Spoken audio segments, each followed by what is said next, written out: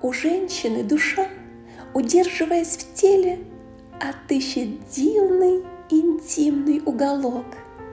И прячется она то в пятке, то в постели, чтоб никогда никто найти ее не смог. Душа ее стремится в неизвестность. Чем больше тайн, тем интересней ей. И принимая жизнь как рок, как неизбежность, не ищет легких и проторенных путей.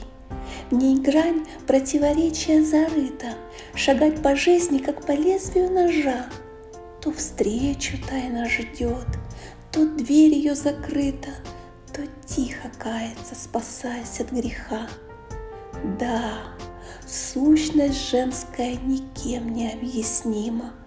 Мужчинам ее душу не понять сполна.